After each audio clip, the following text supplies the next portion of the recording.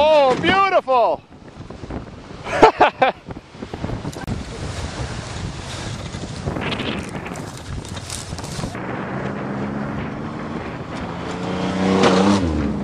oh yeah.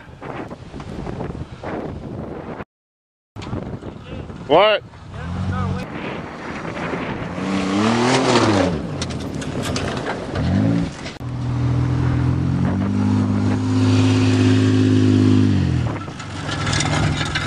Well, let's go back to the barn for a damage report. And uh, the rad looks like it's getting kind of hot too.